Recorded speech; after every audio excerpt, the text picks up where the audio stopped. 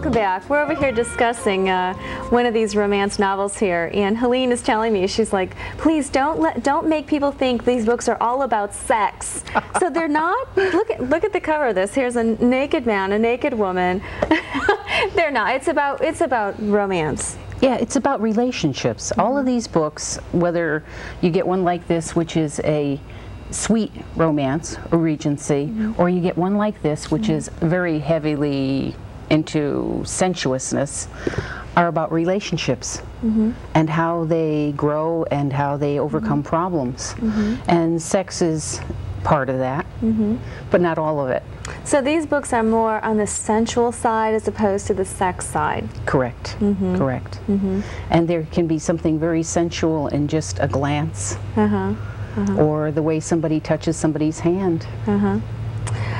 There are, there are some wonderful things in here. Uh, Suzanne's constant cuddling, uh, all, the, all these kind of things. He held her in his arms, and and and and. Um, this is great stuff. Okay, so those out, those are people out there who are interested in becoming a romance writer. Is there a way that they can contact the Central Florida Romance Writers? That's right. The national organization has a website. Oh. It's www.rwanational.com.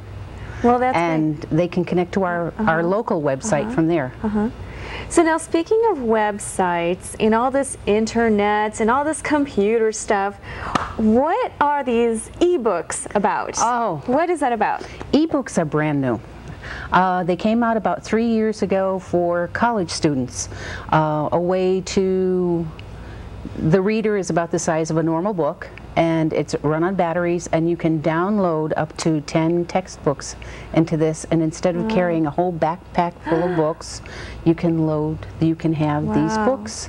It's a Amazing. marvelous, marvelous new invention. Amazing. And what's happened now is now fiction writers have gotten into uh-huh. this and said, uh-huh. this is a great thing for people on the move. Absolutely. Absolutely. That's going to change things quite a bit, I, I think. I think. Well, my, my picture of it is um, when I moved, I moved like 14 boxes of books. If I have an e-book reader uh-huh. and I have all my books on CDs, I move my library in a shoebox. wow. And I think that's a wonderful uh-huh. improvement. Uh-huh. So I think that possibly we should have you come on the show with some other ebook authors, possibly, and things, and uh, maybe we'll do that. We'll talk a little bit more about uh, what these ebooks are all about. That would be interesting.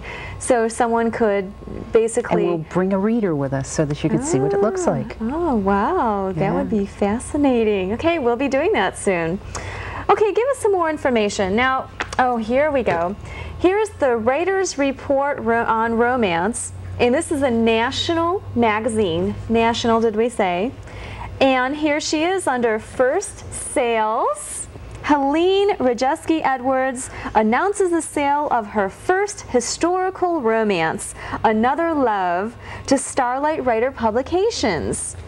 That is that is incredible, incredible. I'm so I'm so happy for you. So um, now you are a historical writer. Now- Correct. Now, I would think that writing a historical romance novel would be very difficult because there's so much research that if you're writing, say, a book on, you know, Gone with the Wind, you have to make sure that all, even down to the description of the clothing that they're wearing, and in those days, the women you normally wear their hair very long, and and all these little things that you need to, to No, play. no modern slang. Right, right. The way that they would talk. Uh, give us maybe give us a couple lines or excerpts from your Oh, book. let's see.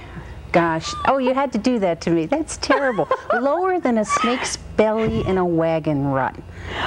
Wow. That, yes, I mean, that's depressed. My goodness. My, that's totally different uh, language than, Yeah. what, than what it is now. Say, Oh, yeah. say as opposed to Jackie Collins. Oh, no.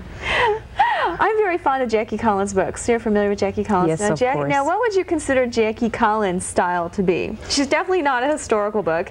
Well, she's a novelist and Uh-huh. she writes glitzy novels. Uh-huh, And that's not a put down. I think she does some great work, you know. But uh, It's a very. And it's very- another style. So how Another many, style. How many styles are there really? Of so if someone wants to write a romance novel, they probably need to realize what direction that they want to go in.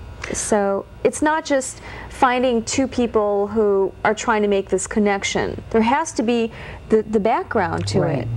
Well, we have all kinds. So we have sweet romance, which um, usually there's no sex. There may be a hug or a kiss. Oh, really? Okay. Okay. see. So this is this. Well, is this a is a sweet romance. regency. This is a regency, which are considered mm-hmm. sweet mm-hmm. because that time frame uh, of 1812, Wow. you know, the 4 or mm-hmm. five years surrounding that, um, was considered very light and playful era. And a lot of those books are light and playful. There's very few that have anything beyond. Are you wondering where all the quality singles are? Singles that are attractive, educated, and financially secure? Hello, I'm Michelle Valentine, and I've helped thousands of singles live a happier life, and I can help you too.